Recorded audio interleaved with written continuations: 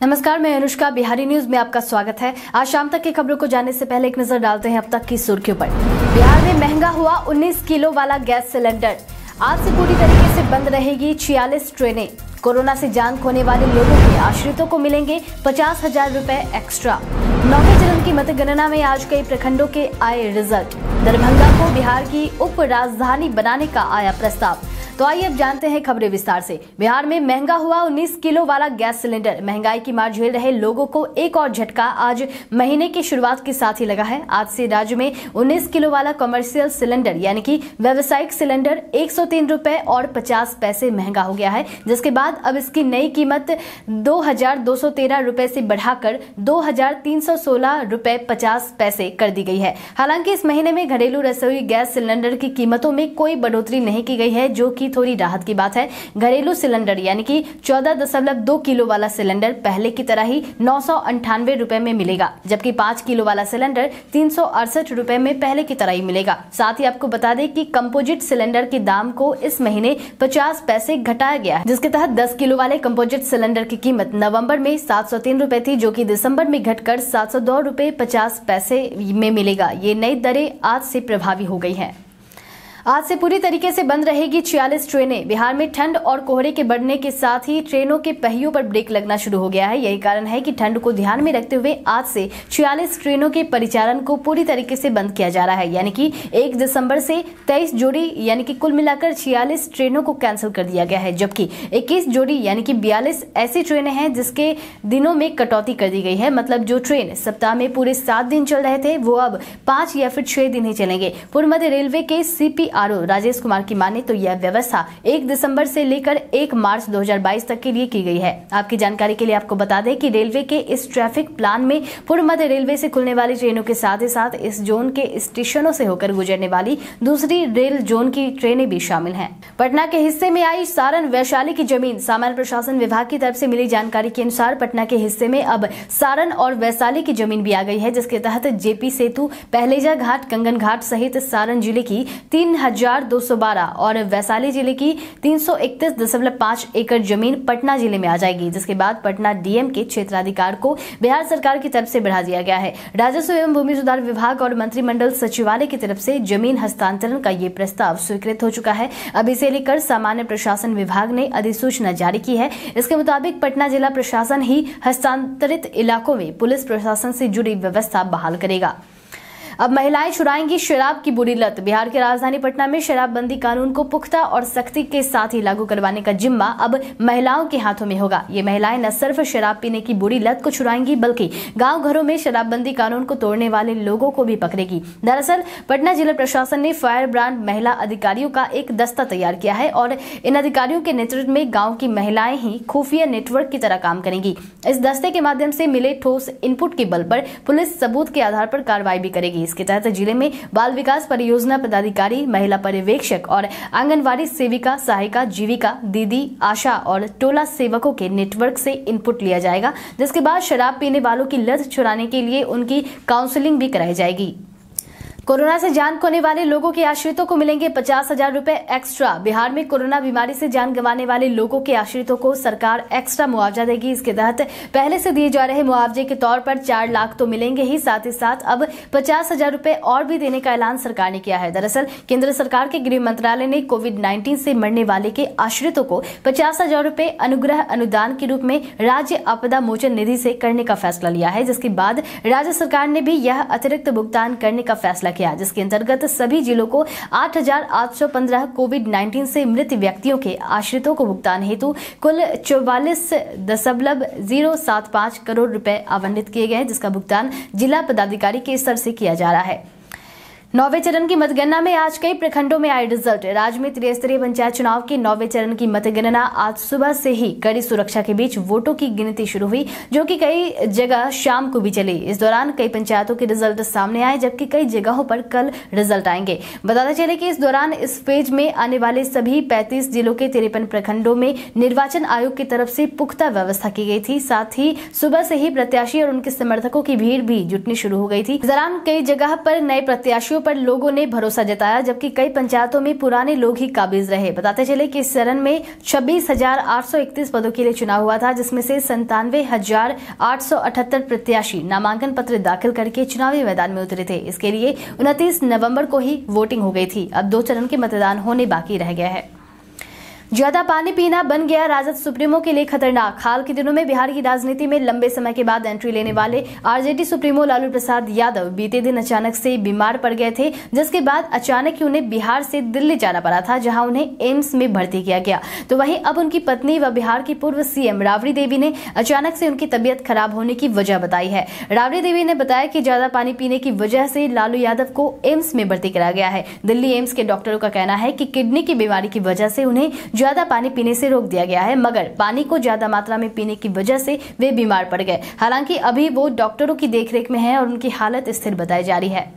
बिहार में मिले चार नए कोरोना संक्रमित मरीज़। स्वास्थ्य विभाग की तरफ़ से मिली जानकारी के अनुसार बिहार में बीते दिन के पिछले 24 घंटे में कुल मिलाकर चार नए मरीजों की पुष्टि हुई है। तो वहीं इस दौरान सात मरीज़ रिकवर भी हैं, जिसके बाद बिहार में एक्टिव मरीजों की संख्या अड़तीस पर पहुँच गई। इस दौरान अगर हम प्रभावित जिलों की बात करें तो दरभंगा, किशनगंज, मुजफ्फरपुर और वैशाली ज़िले से एक एक मरीजों की पुष्टि हुई है। तो वहीं बात रिकवरी रेट की करें तो राज्य में लोगों के ठीक होने की दर अंठानवे दशमलव छह छह फ़ीसदी है। विपक्षी नेताओं के प्रदर्शन के साथ शुरू हुआ शीतकालीन सत्र का तीसरा दिन। बिहार विधानसभा के शीतकालीन सत्र का तीसरा दिन भी हंगामे के साथ शुरू हुआ। सदन की कार्यवाही शुरू होने से पहले ही विपक्षी दल के नेता बाहर में प्रदर्शन करने लगे। इस दौरान आरजेडी विधायक ने युवाओं के रोज़गार न देने को लेकर नीतीश सरकार को जमकर घेरा। तो वहीं दूसरी तरफ़ भाकपा माले के सदस्यों ने राज्य में शिक्षक बहाली प्रक्रिया में हो रही लेट लतीफी को लेकर सरकार पर आरोप लगाए कि सरकार ही नहीं, व्यवस्था में बिहार को बेहतर नहीं बनाना चाहती है। इसलिए लिए बहाली प्रक्रिया में देरी की जा रही है। इस दौरान सरकार के खिलाफ विपक्षी नेताओं ने जमकर नारेबाजी भी की। इस दौरान नेताओं ने एमएसपी को कानूनी दर्जे की मांग को लेकर भी हंगामा मचाया। बताते चले कि अब कल सत्र के अंतिम दिन होने वाला है, जिसके बाद शीतकालीन सत्र समाप्त हो जाएगा। बिहार के कई शहरों की हवा में सांस लेना बना खतरनाक। अब तक बिहार की राजधानी पटना से ही हवा के प्रदूषित होने की खबरें सामने आती रही, लेकिन अब पटना के साथ साथ राज्य के कई शहरों की हवा की स्थिति गंभीर होती जा रही है। जानकारी के मुताबिक मुजफ्फरपुर, गया हाजीपुर, छपरा और बिहार शरीफ में भी हवा में सांस लेने के लायक पहले जैसी साफ़ नहीं रही है। बीते दिन मंगलवार को बिहार शरीफ सबसे ज़्यादा प्रदूषित शहर रहा, जहाँ ए यानी कि हवा की गुणवत्ता का स्तर 418 पर पहुँच गया, जो कि स्टैंडर्ड क्वालिटी से चार पाँच गुना अधिक प्रदूषित है। विशेषज्ञों की माने तो इस प्रदूषण की वजह यहाँ की भौगोलिक बनावट, कोहरे और मौसम की स्थिति को माना जा रहा है। कई शहरों में हवा चार से पाँच गुना अधिक प्रदूषित हो गया है तो वहीं बिहार राज्य प्रदूषण नियंत्रण परिषद के अध्यक्ष की माने तो बिहार समेत उत्तरी भारत के अधिकांश शहरों में प्रदूषण की स्थिति बेहद खराब है। बिहार में अब तक इक्यानवे फ़ीसदी पहली और 80 प्रतिशत दूसरी डोज की लगी वैक्सीन। राज्य में वैक्सीनेशन का आंकड़ा हर रोज बढ़ता जा रहा है और अब स्वास्थ्य मंत्री मंगल पांडे ने भी बताया है कि लक्ष्य से कई ज़्यादा लोगों को वैक्सीन दी जा चुकी है। उन्होंने सदन में कोरोना जाँच, इलाज और वैक्सीनेशन की स्थिति के बारे में जानकारी देते हुए बताया कि अब तक निर्धारित लक्ष्य का इक्यानवे प्रतिशत पहला डोज और लगभग अस्सी प्रतिशत दूसरा डोज दे दिया जा चुका है। साथ ही उन्होंने बूस्टर डोज के बारे में भी जानकारी दी, जिसके बारे में आजकल खूब चर्चा हो रही है। उन्होंने कहा कि वर्तमान में कोरोना टीके के बूस्टर डोज लगाए जाने से संबंधित किसी प्रकार का निर्देश स्वास्थ्य एवं परिवार कल्याण मंत्रालय भारत सरकार के द्वारा नहीं दिया गया है। आपको बता दें कि बिहार में अब तक आठ करोड़ से ज़्यादा कोरोना वैक्सीन के डोज दे दिए जा चुके हैं, जो कि लक्ष्य से ज़्यादा है। दरभंगा को बिहार की उपराजधानी बनाने का आया प्रस्ताव। बिहार के दरभंगा ज़िले को उपराजधानी बनाए जाने का प्रस्ताव बीते दिन विधानमंडल के शीतकालीन सत्र में पेश किया गया। यह प्रस्ताव सदन में कांग्रेस विधान पार्षद प्रेमचंद्र मिश्रा ने उठाया और गैर सरकारी संकल्प के ज़रिए सरकार से दरभंगा को उप राजधानी का दर्जा देने की मांग की। इस दौरान सभापति के सामने उन्होंने दरभंगा की उपलब्धियों को भी गिनवाया। साथ ही उन्होंने कहा की दरभंगा शहर बिहार की उप राजधानी बनने की पात्रता रखता है। ऐसे में इसे पटना के बाद उप राजधानी का दर्जा देने का ऐलान सरकार करे इससे मिथिलांचल के विकास को नई दिशा मिलेगी। वहीं इसके जवाब में सामान्य प्रशासन विभाग के प्रभारी मंत्री विजेंद्र प्रसाद यादव ने सदन को बताया कि सरकार के पास फ़िलहाल ऐसा कोई भी प्रस्ताव नहीं है। साथ ही इस कांग्रेस एमएलसी से इस गैर सरकारी संकल्प को वापस लेने का आग्रह भी किया। हालाँकि बाद में ध्वनिमत से यह प्रस्ताव सदन में खारिज कर दिया गया। कल झगड़ने के बाद आज राजद विधायक ने बढ़ाया दोस्ती का हाथ। बिहार विधानसभा के शीतकालीन सत्र के दौरान सदन के बाहर आरजेडी और बीजेपी विधायक के बीच बीते दिन जमकर गाली गलौच हुई थी, लेकिन आज राजद विधायक भाई वीरेंद्र की तरफ़ से गिले शिकवे दूर करने की कोशिश होती नज़र आई है। विधानसभा पहुँचे आरजेडी विधायक भाई वीरेंद्र ने बीजेपी विधायक संजय सरावगी की तरफ़ दोस्ती का हाथ बढ़ाया। भाई वीरेंद्र ने संजय सरावगी के कंधे पर हाथ भी रखा और उनके साथ कल हुए वाकये को लेकर सब कुछ भूल जाने के लिए कहा। हालाँकि इस दौरान संजय सरावगी नहीं माने। सरावगी ने बिहार विधानसभा अध्यक्ष को लिखित में शिकायत करते हुए भाई वीरेंद्र के ऊपर एक्शन की मांग की है। इस दौरान मीडिया के सवाल का जवाब देते हुए भाई वीरेंद्र ने कहा कि हम दोनों सदन के सदस्य हैं और ऐसी बातें कभी कभी हो जाती है। सनी देओल की फ़िल्म गदर टू की शूटिंग हुई शुरू। बॉलीवुड अभिनेता सनी देओल और अमीषा पटेल की फ़िल्म गदर जो सालों पहले रिलीज़ हुई थी, वो आज भी फ़िल्म के दीवानों की पसंद में शामिल है। आज भी इस फ़िल्म की तारीफ़ करते लोग नहीं थकते हैं। वहीं अब इसी फ़िल्म का पार्ट टू जल्द ही लोगों को देखने को मिलेगा, जिसमें सनी देओल और अमीषा की जोड़ी दिखेगी।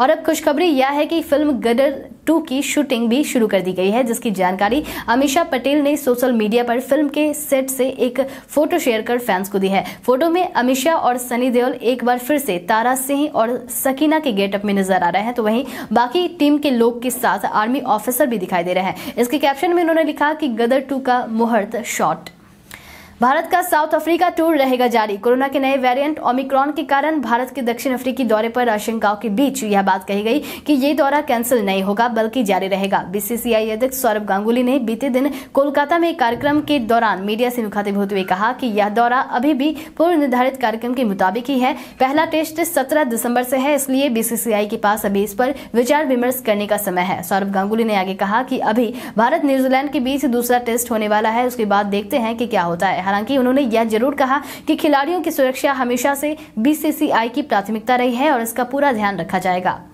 तो चलिए बढ़ते हैं आज के सवाल की ओर। आज का सवाल कुछ इस प्रकार है कि आपके अनुसार आपके ज़िले में पंचायत चुनाव संपन्न हुए हैं या फिर नहीं? आप अपने जवाब हमें कमेंट सेक्शन में कमेंट करके ज़रूर बताएँ और बिहार से जुड़े खबरों से अपडेटेड रहने के लिए जुड़े रहें बिहारी न्यूज़ के साथ। तब तक के लिए नमस्कार।